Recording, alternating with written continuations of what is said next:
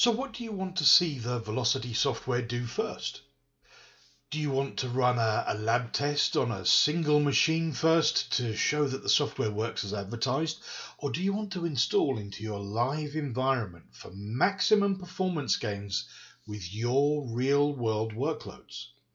If a lab test is where you want to start, it's worth mentioning that some prospective customers think about running workload generators to do the testing with.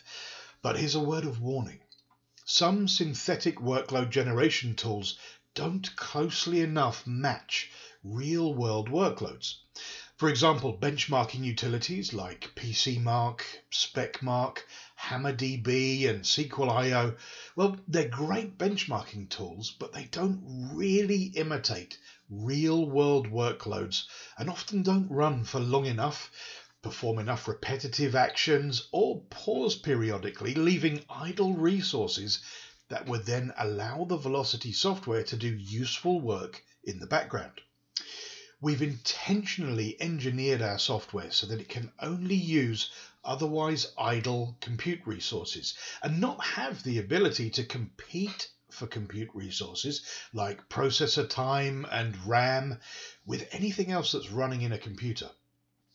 Also, some synthetic workload generators are designed to measure hardware capabilities and will actively try to eliminate software features like caching.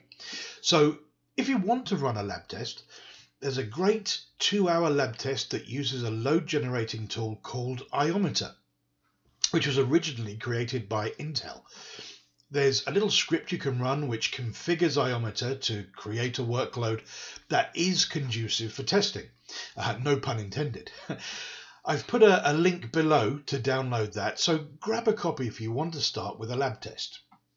You'll be up and running in minutes and can have your initial test results to look at today.